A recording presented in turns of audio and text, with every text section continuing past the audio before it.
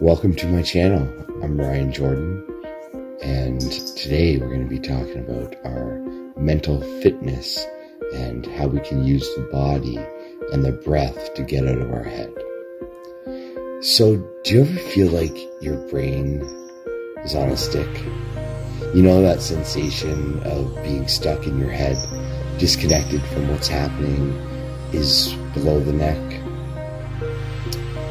It's not a comfortable or productive way to live. Yet, it's all too common. In this new little series I've been creating for you, we're going to take a journey below the neck and explore how paying attention to our body state can help us change our mental state. So please check out the rest of my videos on our core beliefs and shadow work and what our core beliefs and the benefits of shadow work. By refining our awareness and becoming truly authentic of our inner body signals, we'll become more skilled at adjusting how we feel emotionally and mentally, sometimes in a simple matter of minutes. So, over the course of this series, we will cover body based practices and protocols to make quick mental state shifts for when we need an on the spot solution. We're also going to learn to train our body and mind to feel stronger, calmer, clearer for longer. The win win. And while you listen to this course and work through this video and all the videos I've done or are upcoming to watch as well, you'll learn to develop that emotional intelligence, that emotional quotient. And we'll do this through practices for well being what I call my mini master class or mini wins or cross training. This will help us get mentally fit so that we're able to continue on the path. Now, mentally fit, hmm, that's something I haven't mentioned before. Mental fitness is, I would say, the capacity of the body and mind to work together to increase our physical energy, our emotional stability, and mental clarity and calmness. The feeling of being mentally fit is one of lightness, of like you're floating, of harmony, of being in sync or in alignment or connected to the all being of the all prana of the nirvana. It's that sense of being truly awake by being authentic within. Remember, whatever's happening out there is coming from what's in there. So if you can't be authentic out there, you may not be able to be authentic in there to yourself, which is the really the most important thing to be truly connected with life. And who doesn't want more of that, right? So a good place to start is one with one of the most effective tools for shifting our physical, mental, and emotional states. The best way is Vipassana, the breath. And we're going to practice that in some of my other videos, so keep checking in and you'll be seeing my whole series coming up on the chakras. Um, according to this one doctor, uh, Dr. Patricia Gerbarg, I believe, an assistant clinical professor of psychiatry at New York Medical College and the author, author of The Healing Power of the Breath, every emotion is accompanied by a different breath pattern a different frequency. So every energy, every emotion, every feeling is accompanied with a different frequency and a different breath pattern. So it's possible to change how you feel, even how your mind is working, by slowing down to a gentle pattern of four to six breaths per minute. So you can just simply do this by breathing in and holding the breath and taking a nice long exhale out as you breathe in, tell yourself in. And if you notice yourself thinking, tell yourself thinking. And as you breathe out, tell yourself out. Simply what you're doing here is observing and slowing down the breath. You're stepping into awareness. So as we breathe in,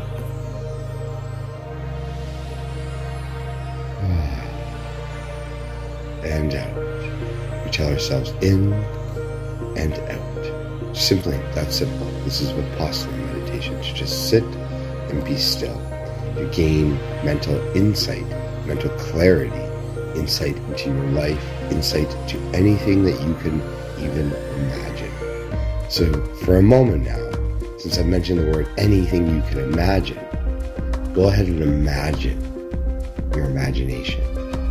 Read fairy tales, give them to your children, write them, express how you feel, get a notebook, and start to put down some of these things that are coming up for you, maybe even while you're listening to this or during you watching my other videos. So, the thing about breathing is it brings out our automatic nervous system into a balanced, calm state that has the same effect on our mind. Dr. Gerbarg writes that this practice has a calming effect on the emotions while enhancing attention, intelligence, clarity, and mental focus.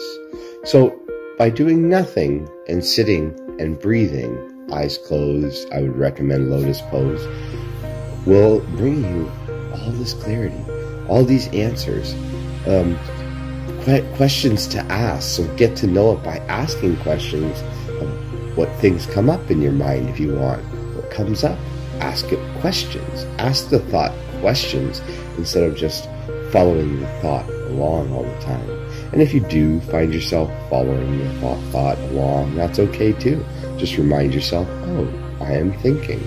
Oh, I'm observing the body, the mind, this or that, thinking, doing, experiencing, feeling, touching, enjoying, indulging. Simply to be aware, simply to observe these states is in your awakened state on the path to enlightenment. So, working the breath in a deep, balanced pattern has been shown to synchronize and harmonize the body and mind and spirit and soul, thus lifting our mood and performance. So, focus your attention now for a minute on your breath on how the sensation feels coming in through the breath. So inhale and slowly exhale counts four to six seconds. So you're going to breathe in for four. One, two, three, four. Pause. Now exhale slowly for six seconds.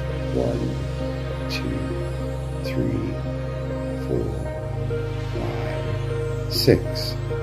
Go ahead and do this five more times. And just take a moment to be present with what I've just shared with you. And hopefully your curiosity bell is going off. I have these little things as you breathe here in and out. I have these little things that come up for me and I just note them. I observe myself. I observe the self. So just do this. Breathe in.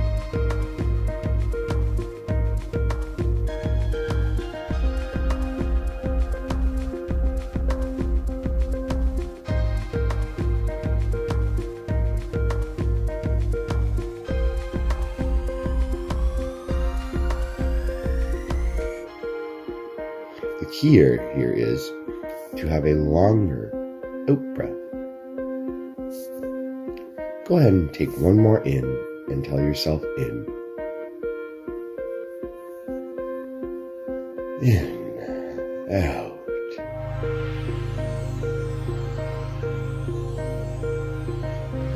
Hope you felt a little relaxation there during it.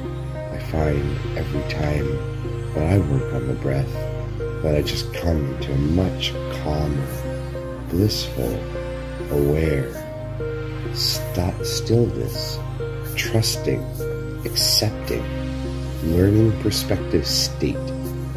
So sometimes when you feel frenzied or frantic or all over the place, wired, up or down, sideways and that way, just pause and remember that by dropping your attention below the neck and tuning into your body more often, by doing a self check in, you'll learn to read your inner body signals, sort of like you read a book. This can help you to learn to understand the messages of what's needed or not needed to feel better physically, mentally, emotionally, whatever way you could possibly imagine. and draw in what's truly meant for you, what the universe truly has in store for you when you're in your aligned, simple state simply being a human being. So I hope you enjoyed this little video today. And please check out my other videos and don't forget to like, share, subscribe, comment. And if you're watching my class here, then continue on with the next videos. Namaste.